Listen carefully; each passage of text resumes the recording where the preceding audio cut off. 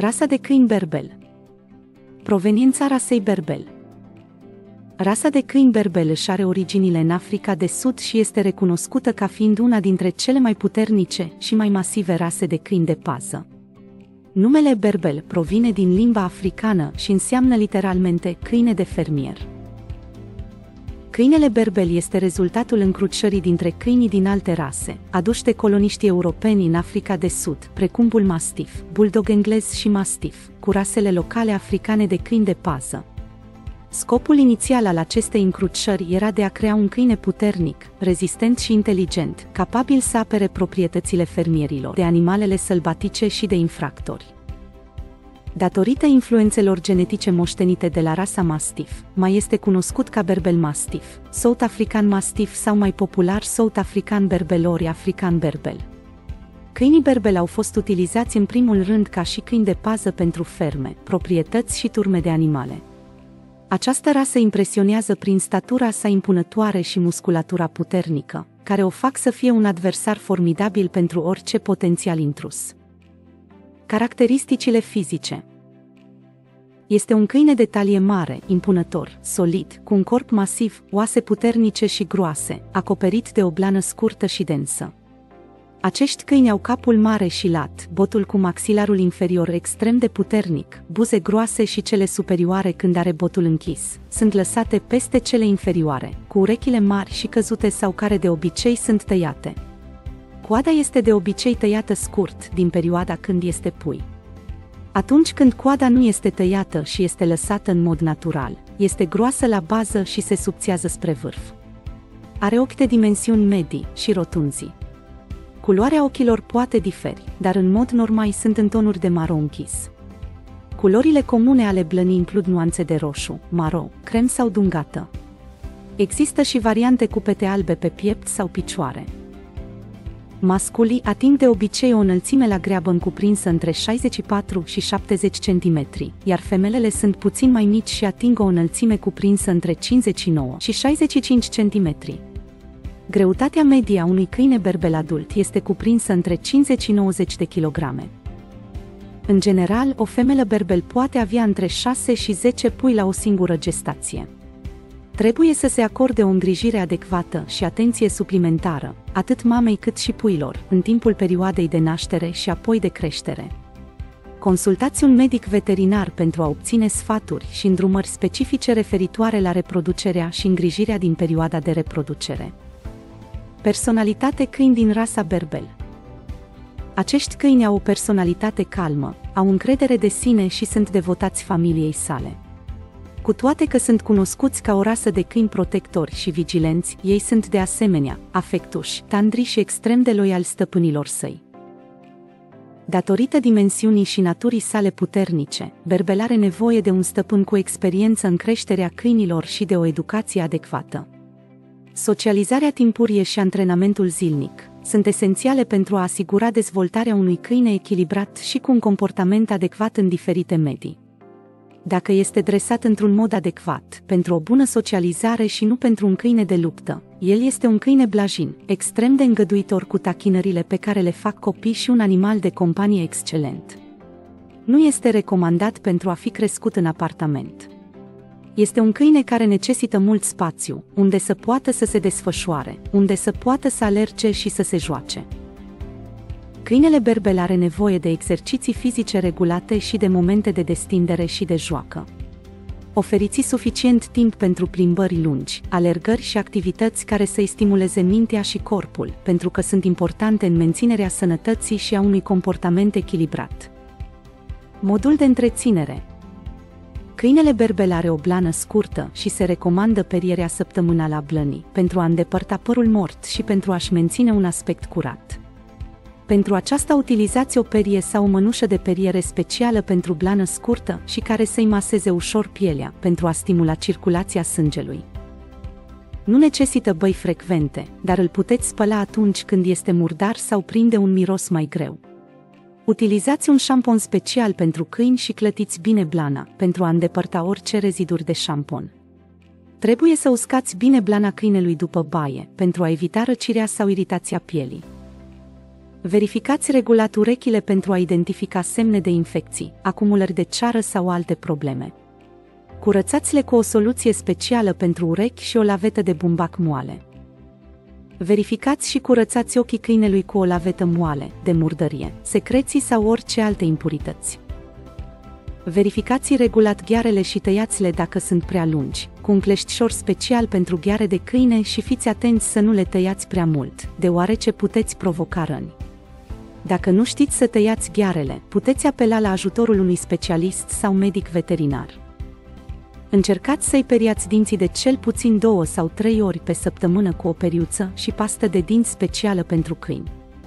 De asemenea, îi puteți oferi jucării pentru mestecat sau suplimente dentare pentru curățarea dinților. Modul și tehnicile de dresaj Dresajul unui berbel implică aplicarea unor tehnici de antrenament pozitive, consecvente și bazate pe recompense. Datorită caracterului lor inteligent și loial, ei pot fi dresați ușor dacă se utilizează metode corespunzătoare, se acordă suficient timp și răbdare. Începeți antrenamentul câinelui cât mai devreme posibil, încă de când este puișor. Deoarece aceasta duce la formarea unor obiceiuri de comportamente bune, încă de la început și contribuie la o socializare adecvată. Definiți regulile și limitele clare pe care doriți să le impuneți dumneavoastră și fiecare membru al familiei și trebuie să fiți consecvenți în aplicarea acestor reguli pentru a evita confuzia câinelui.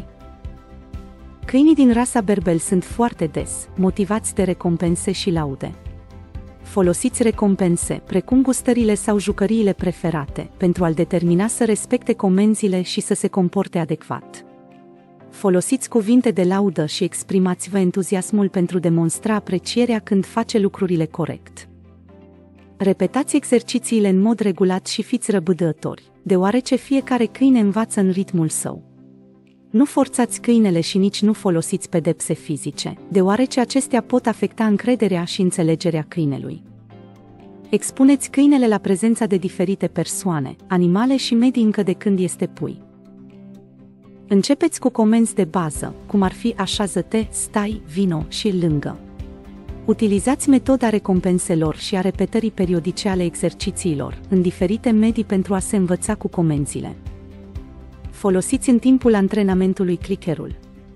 Clickerul este un dispozitiv mic, care emite un sunet distinctiv și este utilizat pentru a semnala câinelui că a executat o comandă corect. În timpul antrenamentului, faceți click cu clickerul în momentul în care câinele execută corect o comandă, apoi imediat dați o recompensă. Clickerul ajută câinele să învețe momentul exact când a avut loc o execuție bună. Combinați comanda vocală cu un semn vizual, cum ar fi un gest al mâinii sau o mișcare a corpului. În timpul antrenamentului, asociați comenzile vocale cu semnele vizuale și oferiți recompense atunci când câinele execută corect comanda. După mai multe repetări începeți treptat să nu mai folosiți semne vizuale, astfel încât să faceți câinele să răspundă doar la comenzile vocale. Folosiți comenzile de la distanțe diferite, pentru a învăța comenzile și pentru a permite câinelui să rămână conectat la dumneavoastră în diferite situații. Începeți antrenamentul într-un mediu comun și apropiat, apoi extindeți treptat distanța între dumneavoastră și câine și urmăriți ca să asculte și să execute în continuare comenzile. Împărțiți exercițiile mai complexe în unele mai mici și mai ușor de înțeles pentru câine. În loc să încercați să-i cereți să execute o comandă complexă dintr-o singură mișcare, învățați-le etapele individuale treptat și construiți progresiv până la obținerea rezultatului final dorit. Este important să aveți răbdare și să creați o relație de încredere și respect cu câinele dumneavoastră. Dresajul este un proces de învățare, greu și necesită implicare de ambele părți și coerență pentru a obține rezultate optime. Modul de hrănire și alimentele Aplicarea unei diete adecvate și echilibrate este foarte importantă pentru sănătatea și bunăstarea câinelui berbel. Alegeți hrană de calitate superioară, care oferă tot necesarul de nutrienți esențiali necesari câinelui. Hrana trebuie să fie specifică pentru categoria de câini din care face parte și să fie special concepută pentru vârsta, mărimea și nivelul de activitate al câinelui berbel. Puteți opta între hrana uscată și cea umedă, în funcție de preferințele și necesitățile câinelui și a timpului dumneavoastră.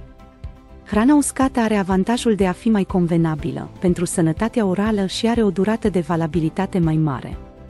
Hrana umedă este mai moale și conține mai multă umiditate, ceea ce o face utilă în cazul câinilor care au nevoie de hidratare suplimentară. Măsurați porțiile de hrană în funcție de greutatea și nivelul de activitate al câinelui dumneavoastră. Supravegheați greutatea câinelui și ajustați porțiile în funcție de necesități. Este important să evitați supraalimentarea, deoarece excesul de greutate poate duce la probleme de sănătate. Multe alimente umane sunt dăunătoare pentru câini, precum ciocolata, cafeaua, ceapa, usturoiul, avocado și strugurii. Apă proaspătă, asigurați-vă că berbelul are acces la apă proaspătă și curată în tot timpul zilei. Schimbați apa zilnic și curățați în permanență bolul de apă. Dacă sunt hrăniți cu mâncare comercială de slabă calitate, se pot îmbolnăvi pentru că au stomacul predispus la balonare. Hrănirea câinilor cu oase le oferă calciu, dar și un efect de periere dentară și ajută la îndepărtarea plăcii bacteriene. Această rasă trebuie să fie hrănită mai mult cu oase și carne crudă. Trebuie să aveți în vedere ca mesele să se bazeze pe carne crudă, dar în amestec cu cereale, fructe și legume. Dacă nu alimentați câinele corespunzător din cauza economiei banilor, mai târziu o să cheltuiți pe operații și tratamente. Există o varietate de alimente permise și sigure pe care le puteți oferi câinelui dumneavoastră. Carnea este o sursă importantă de proteine pentru câini. Puteți oferi și carne fiartă sau la grătar, cum ar fi pui, curcan, vită sau miel. Asigurați-vă că nu conține oase mici, grăsimi în exces sau condimente. Peștele, precum somonul sau tonul, este o sursă bună de proteine și acizi grași. Omega-3 sănătoși. Peștele trebuie fiert și trebuie dat fără oase mici. Orezul fiert și legumele fierte, precum morcovii, dovlecei și mazărea, pot fi adăugate ca suplimente nutritive la hrana câinelui. Acestea oferă fibre și o cantitate importantă de vitamine. Ouă fierte sau gătite sunt o sursă excelentă de proteine pentru câini. Acestea trebuie să fie gătite complet și să nu le adăugați condimente sau ulei. Unele fructe sunt sigure pentru câini și pot fi oferite ca gustări între mese.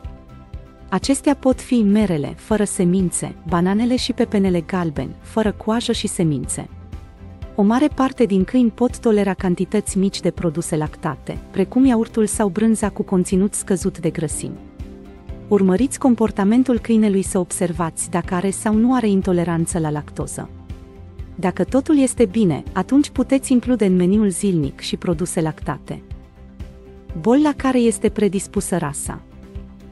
Rasa de câini berbel este în general considerată sănătoasă și rezistentă la boli, dar ca orice vietate, are predispoziții genetice pentru anumite afecțiuni. Displazia de șold și de articulații este o afecțiune care afectează articulațiile șoldului sau ale picioarelor care nu se dezvoltă corect și apar dureri și probleme de mobilitate. Pot fi efectuate radiografii de screening pentru a detecta aceste afecțiuni și pentru a lua măsuri preventive și de gestionare. Dilatația și torsionarea stomacului este o afecțiune gravă și în majoritatea cazurilor fatală, care se manifestă prin umplerea stomacului cu aer și rotirea acestuia. Este important să împărțiți mesele în porții mai mici, să evitați să supuneți câinele la efort fizic intens imediat după ce a mâncat și să acordați o atenție deosebită semnelor de disconfort abdominal. Sunt predispuși la anumite afecțiuni cardiace, precum stenoza aortică, îngustarea valvei aortice sau cardiomiopatia dilatată. Monitorizarea regulată a sănătății cardiace și vizitele regulate la medicul veterinar pot ajuta la detectarea precoce și gestionarea acestor afecțiuni. Sunt predispuși la anumite afecțiuni oculare, precum învârtirea pleoapelor spre interior sau displazia retinei. Examinările oculare regulate de către un oftalmolog veterinar ajută la detectarea și gestionarea acestor afecțiuni. Hipotiroidismul este o afecțiune în care glanda tiroidă nu produce suficient hormon tiroidian. Aceasta duce la creșterea în greutate, scăderea activității, pierderea părului și probleme de piele. Testele de sânge pot fi utilizate pentru a diagnostica și monitoriza hipotiroidismul. Dermatita atipică este o afecțiune alergică a pielii, care poate fi cauzată de alergii la diverse substanțe ca polen, praf, acarieni sau la hrana mâncată Simptomele sunt de mâncărime, roșeață, inflamație și scărpinat excesiv. Diagnosticul și gestionarea se bazează pe evaluarea simptomelor și poate implica teste alergice și terapie medicamentoasă. Câinii berbel pot prezenta o dilatație a ventriculelor inimii, care poate duce la insuficiență cardiacă congestivă. Monitorizarea cardiacă regulată și colaborarea cu un medic veterinar sunt importante pentru a identifica și gestiona această afecțiune. Osteocondroza disecantă, OCD, este o afecțiune ortopedică în care se dezvoltă fragmente de cartilaj în interiorul articulațiilor, în special în zona picioarelor. Apar senzații de durere, inflamație și dificultăți în mișcare. Radiografiile și examinările clinice pot fi utilizate pentru diagnosticare și planificare a tratamentului. Sunt predispuși la diverse afecțiuni ale pielii, bacteriene sau fungice, dermatite alergice sau dermatite de contact. Îngrijirea corespunzătoare a pielii, inclusiv spălarea regulată și igiena adecvată, ajută la prevenirea și gestionarea acestor afecțiuni.